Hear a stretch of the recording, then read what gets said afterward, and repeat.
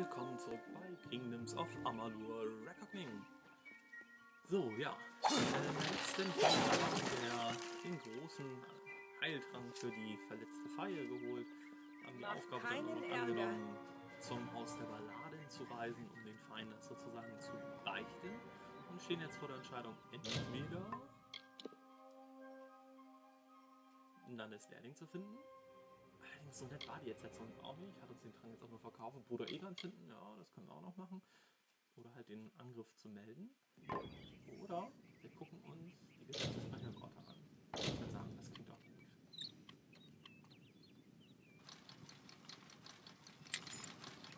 Oh. Ah, da habe ich gerade noch rechtzeitig gekämpft. Ja. Das war jetzt zu spät.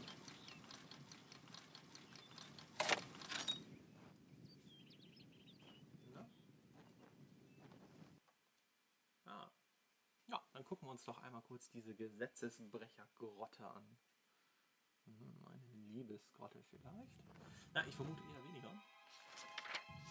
Okay, die scheint jetzt auch halbwegs überschaubar zu sein.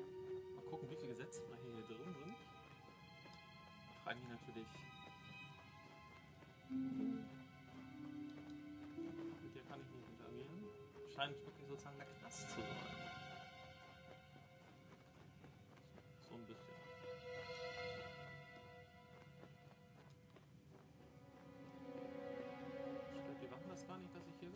Ich grüße euch.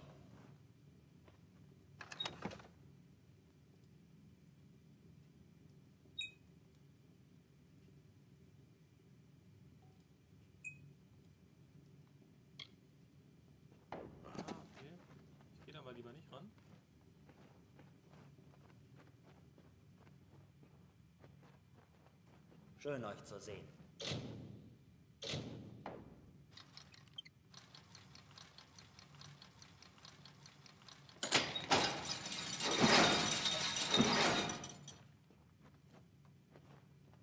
Ah, super. Jetzt sind wir hier im Knast. Das ist ja mal ganz super hier. So, ähm, dann gehen wir nochmal eben hier raus. Können wir mit dem netten Herrn reden? Nö. Wir lassen die jetzt natürlich auch nicht frei. Keine Ahnung, ob wir das könnten, indem wir die Wachen angreifen oder so.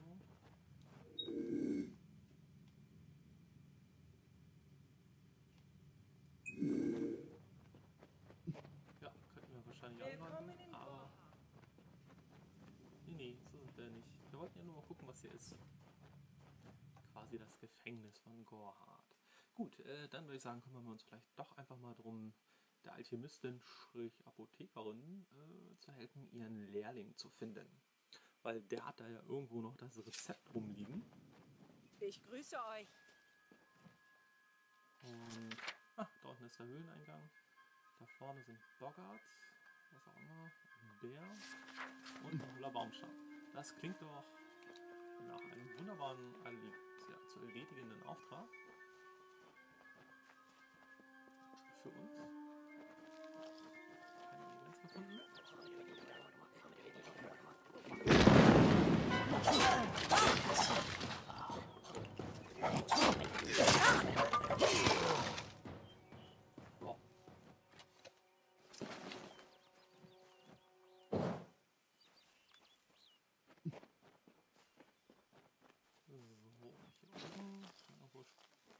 Ah, da kann man wahrscheinlich von oben runterspringen, okay. Noch was? Hier vorne genau der rote Baumstamm. Gucken wir gleich mal eben nach. Wir holen uns aber erst diesen Stein, weil wir, der wird ja wieder ein bisschen mit uns reden sozusagen. Ich weiß nicht, ob es stimmt, was die Feien über diese Steine sagen. Doch wenn es stimmt. Nun, das ist einfach zu gut, um es nicht auf ewig zu bewahren. Lystrum war nicht in der Stadt, als Artal zu Besuch kam. Lystrum kennt Artal nicht. Und Artal ist älter und etwas seltsam. Man könnte sie für eine Schicksalsweberin halten. Als Lystrum wieder in die Stadt kam, fand er dort Artal das Orakel vor. Ich sagte Lystrum, Ihre Prophezeiungen sind unglaublich. Geh sie aufsuchen. Ach, ihr hättet es sehen sollen. Ein Gockel, sagte sie, wird zu einem Mann werden und dieser Mann wird euer Geliebter werden.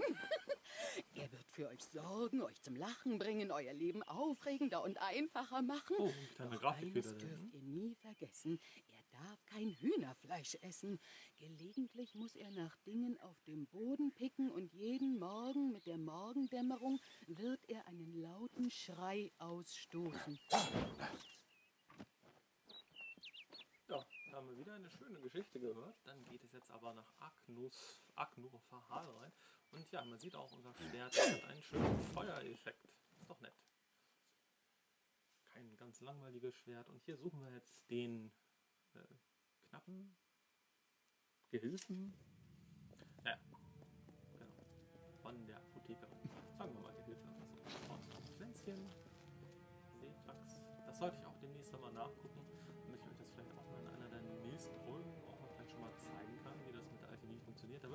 Wirklich vor online nachgucken. Man kann wohl die Rezepte kaufen oder sie halt so entdecken. Wie Statt zu entdecken kann man auch einfach mal im Internet natürlich nachgucken und sich das so das Leben ein bisschen einfacher machen. Da ist er doch. Ist er das? Ja, hallo, hier bin ich. Was macht ihr hier unten? Wisst ihr nicht, dass Agnur Fahal von den Geistern der Erati heimgesucht wird? Also, Äh, seid egal. ihr toll kühn oder nur dumm? Ich bin dumm. Wie so viele andere in Gorhard ist sie unfassbar ignorant. Sie sieht nur, was sie sehen will. Ich bin ihr pflichtbewusster Schüler und sie ist meine weise Mentorin. Das ist doch eine schöne Aufteilung. Ihr ganzes Leben ist eine Lüge, die sie selbst erzählt. Okay, was ist mit der Formel geschehen? Oh, ich verstehe. Die raffinierte Gnomen hat einen Champion gefunden. Wie erquicklich.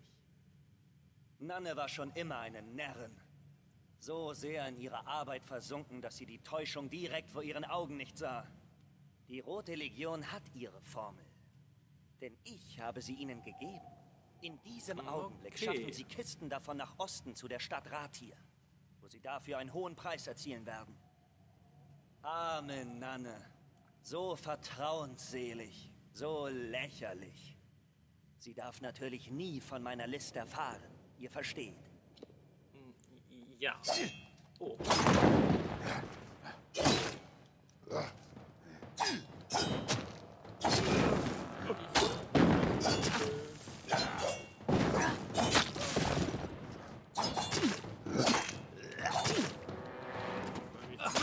Erst um. So, jetzt bist du da.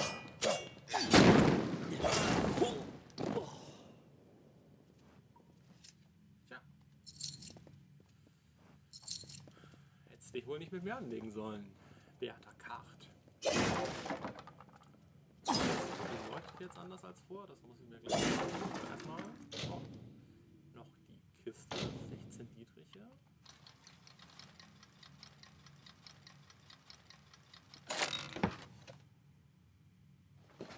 Ah, ein neuer Hammer. Mal eben kurz gucken, ist er besser als meiner? Nö. So, dann gucken wir mal eben kurz wegen der Quest nach. Karte hat zugegeben, für die Banditen der Roten Legion zu arbeiten. Die Bande hat vor, Nanahandres gefährliche Geheimformel nach Osten zu bringen, um sie dort der meistbietenden Kriegspartei zu verkaufen. Ich muss unbedingt die Transportkisten zerstören mitsamt der Formel. Okay, das klingt auch nach einem guten Plan. Und da hinten leuchtet es auch und da sind natürlich auch Gegner. So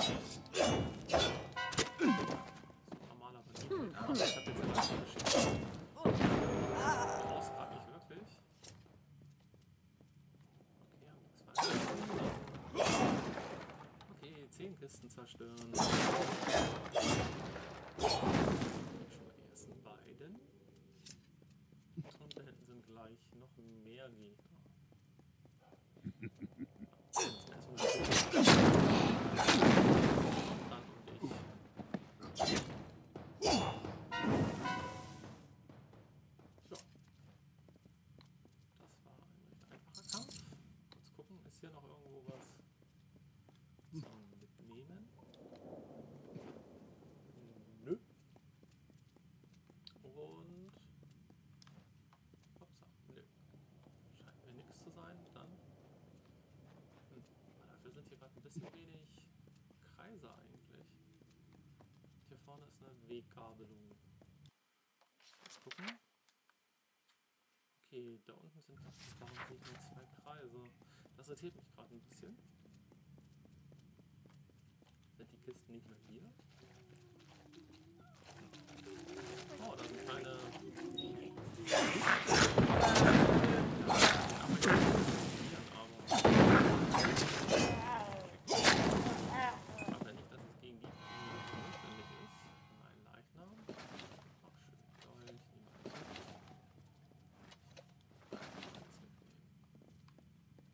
Ist hier auch eine versteckte, versteckte Kiste gestanden. Okay, gut, ich gucke jetzt noch mal. in- Erstes Mal wegen dem Dolch. Äh, ja, die kann weg. Hm. Kommt schon nah langsam dran, aber noch ist das Set das Beste. Wie gesagt, ein Set-Teil kann ich ja auch eigentlich ohne Probleme ablegen. Ich würde es natürlich dann erstmal noch an die Pflanze und die Kiste sollte ich natürlich auch mitnehmen. Ich soll es natürlich erstmal nur behalten, bis ich sozusagen das Set komplett ausgetauscht habe. Ja, momentan nehmen die natürlich alles mit, weil wir brauchen massig Gold. Sag ich jetzt einfach mal.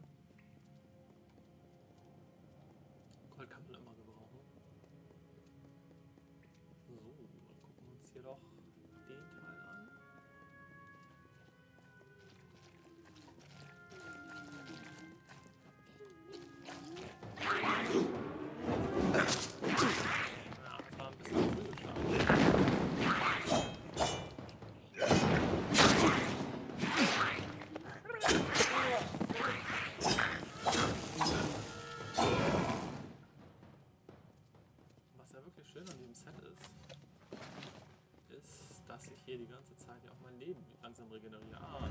Manchmal ist es schwer zu glauben. Doch ihr könntet die seltsamste Tatsache akzeptieren. Ihr habt euch getäuscht. Ja, doch das und diese endlose Leere ist schrecklich. Die Alten waren hier. Sie haben sich selbst in diese Welt gebracht. Der zeitlose Kreislauf dreht sich und dreht sich. Die Zyklen treiben mit dem Strom. Sie warten auf die Vergangenheit. Die Zukunft bringt den sich bildenden Sturm. Dieser Ort taugt nicht zur Heimat, für niemanden.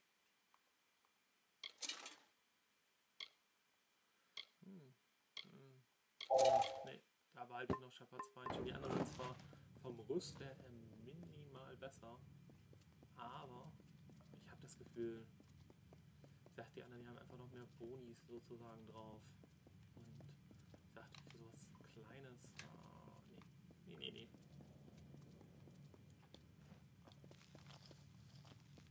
Ja, beim Blumenpflück hat man ja recht häufig auch mal nix, sozusagen keinen Erfolg.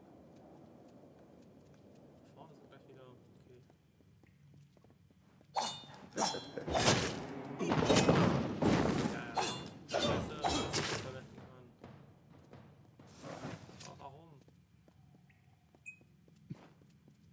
Stimmt, es sind mehr Erfahrungspunkte, ne?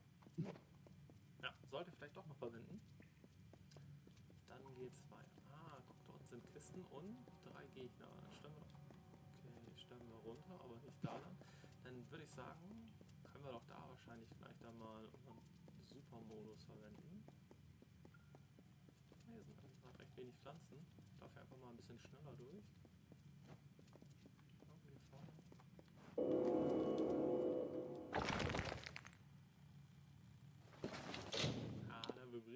Controller richtig stark. Finden wir gut. Sachen zum Verkaufen brauchen wir immer. Wir haben ja auch immer noch ganz viel in unserer Teilekiste. Äh, Die könnte man halt mit Schmiedekunst voranbringen. Auch eine Sache, wo wir uns auch noch mal demnächst drum kümmern müssen. Aber jetzt wird erstmal gekämpft.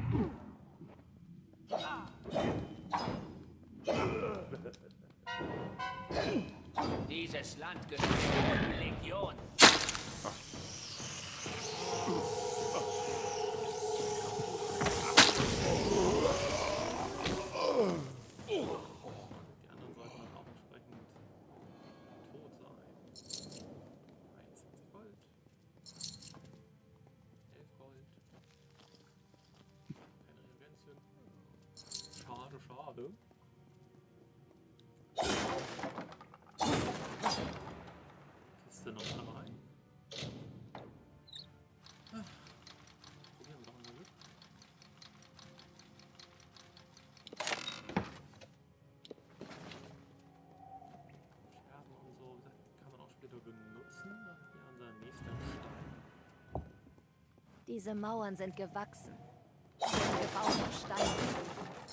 Mit Liebe wurde dieser Ort erschaffen. Ihr seht die Lichter, die mystischen Hallen geordneter Realität. Es sind die Gesichter der Vermissten. Die verkörperte Wahrheit der verlorenen Seelen. Es sind so viele. Doch man kann sie sehen. Wie jämmerliche Scharaden sind sie. Manche mit guten Absichten, was man ihnen nicht vorwerfen kann. Doch die meisten sind nur eine List.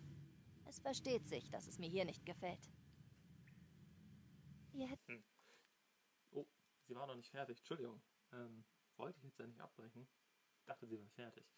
Ähm, ja, scheinbar sind hier die Kisten noch woanders. Ah, jetzt sind wir genau die Etage höher. Das hatten wir vorhin schon gesehen. Da ist der Eingang. Höher. Ist auch schlechter. Und dann gucken wir hier mal an. Ah, da ganz oben.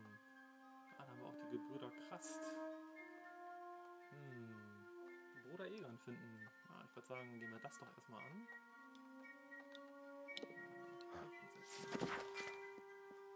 Und hüpfen hier runter.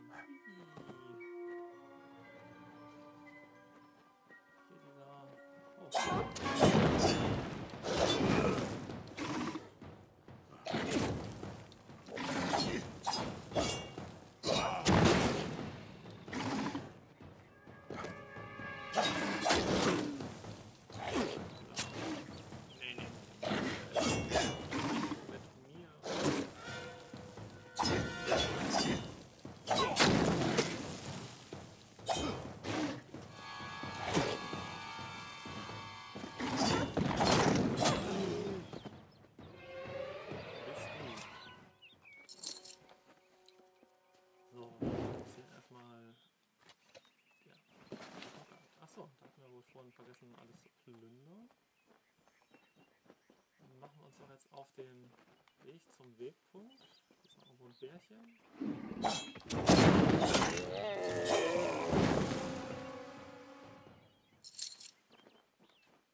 Hm, das Bärchen hatte Gold dabei.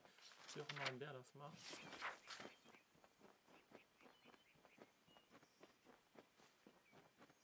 Wie, wie kann ein Bär es schaffen, Gold mit sich rumzutragen? Gut, aber besser als dass er ein Schwert mit sich trägt, also von daher ist das ja an sich schon in Ordnung.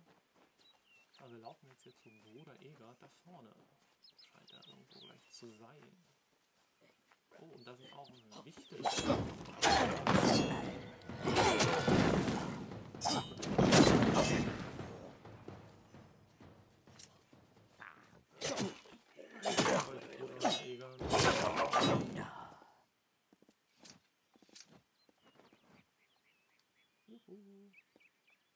Redet mit mir. Ja?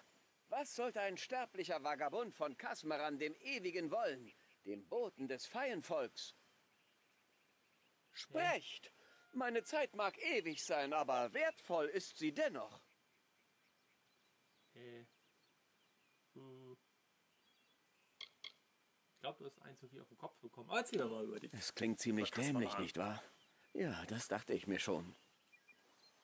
Ich brauche einen Magiernamen, wenn ich allmächtig bin. Wenn meine Magie derart gewaltig ist, dass es niemand mehr wagen wird, mich herauszufordern. Ja. Wie wäre es mit Abner der Visionär? Oder Malik der Ruchlose? Lord Zaltenus? Nein? Und das waren Ja, schon die Lord. Dominus. Ähm, ja. Du bist doch eigentlich Bruder Eger. Ich bin noch neu in den feinen Landen. Bevor ich der Mission beigetreten bin, hatte ich mein Heimatdorf noch nie verlassen. Aber ich wollte die Welt sehen und habe mich ihr deshalb angeschlossen. Ich wollte die Gärten von Üsa sehen, um Gnomen und Alpha zu begegnen, um zu leben. Der Orden Metaros war eine gute Möglichkeit, mein Zuhause zu verlassen, aber ich will noch viel mehr. Ah, okay. Ich bin hier, um euch zu retten. Wartet! Vater Dünwell schickt euch nicht wahr? Der alte Narr. Sein Weg zur Macht war zu mühsam und jetzt will er mich auch bremsen. Ich habe neue Freunde. Feienfreunde. Sie heißen Finna und Arbos und sie haben geschworen, ihre Geheimnisse mit mir zu teilen und mir wahre Magie zu schenken. Sie wollen dafür einen alten Schatz, der in den Höhlen des Wasserhallengrundes vergraben ist. Ich werde ihn holen. Äh, Irgendwann, sobald ich... Sobald mir danach ist. Okay, sag mir doch mal, wo diese Fienna und Arbos sind. Sie sind Feienzwillinge und sie sind wunderschöne magische Wesen. Sie haben versprochen, mich Magie zu lehren, damit ich die Welt so sehe, wie sie wirklich ist. Sie verlangen dafür nur von mir, dass ich ihnen ein Relikt bringe. Das ist ein großartiges Geschäft, glaubt mir. Nicht so wirklich. Äh, Ich glaube vor allem, nachdem ich gesehen habe, wie gut er gegen die Licht kämpft. Also gut, wenn ihr so edel sein wollt, aber rechnet nicht mit einem Anteil des Schatzes. Das ist mein Schlüssel zu einer mächtigen neuen Zukunft. Einer Zukunft voller Magie und Wunder. Gehen wir. Äh, ja. Dann lebt wohl. Gut, dann folgen wir Eger. Ein bisschen Zeit haben wir ja auch noch.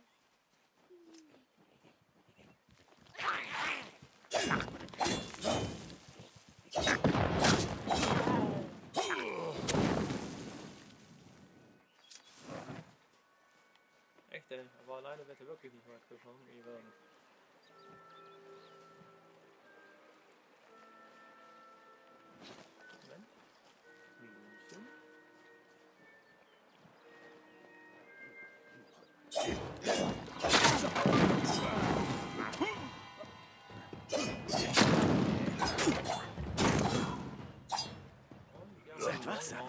Es gibt hier zahlreiche Bestien.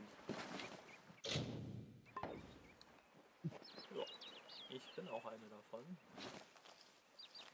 Und ich denke, wir betreten ihn auch schon mal.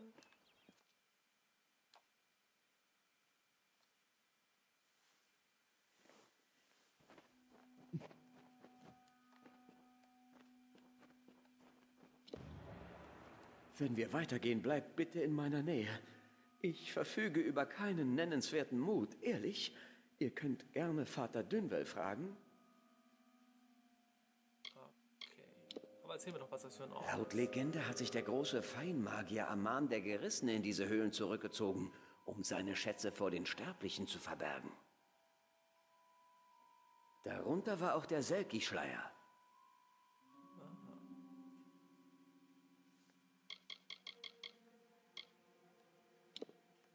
Man nennt ihn den Selki-Schleier und er soll die Macht haben, seinen Träger in jede Gestalt zu verwandeln, die er wünscht. Finner sagt, er gehört den Feien, wurde aber gestohlen.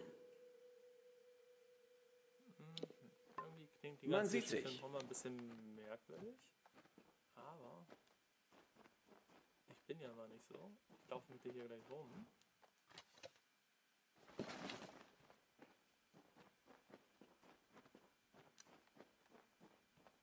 War da hinten noch eine Pflanze?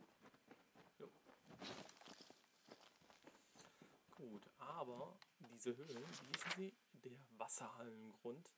Den erforschen wir dann erst in der nächsten Episode von Let's Play Kingdom of Amalur Reckoning. Ich hoffe, ihr seid wieder mit dabei und sag schon mal, bis dann.